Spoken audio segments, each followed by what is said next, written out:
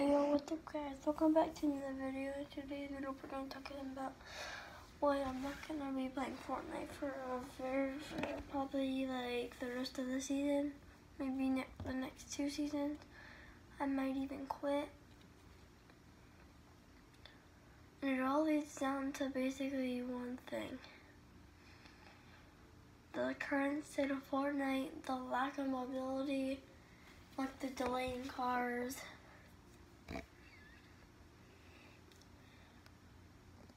I'm not trying to be one of those YouTubers that just like complain about everything.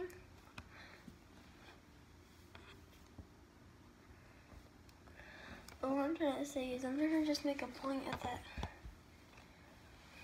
Like Epic should do something to their game to like make it like at least make it like at least good to like good enough for me to play. So in the meantime I'll just be uh, I don't know if y'all saw but I streamed Apex earlier. And I'll probably do some.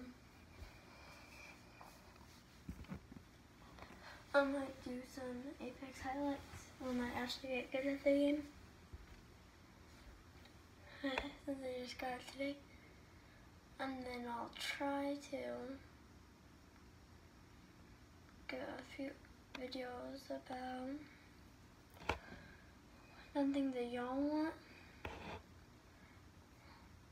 I have like, I have uh, Rocket League. I can do a video on how I edit my videos and make some of them funny. I could do, honestly, I could do whatever y'all want. Seriously, comment in the uh, comments, whatever you want me to upload, and I'll try my best to upload it.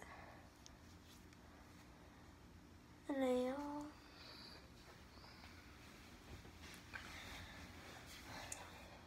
but yeah, let's just talk about the Fortnite topic. The reason all these pros are quitting, basically all is down to one thing. No one likes the game anymore it's not that it's like it's dying. Like it's not that it's getting boring. Well, it is. There's also just the way that how Epic does not care about us, like the community one bit. They're ignoring us. Arena is completely dog to play.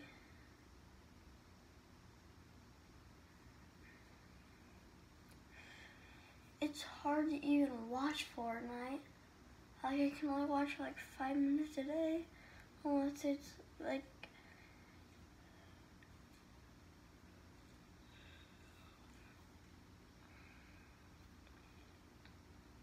unless it's like a like a perfect timing video or something.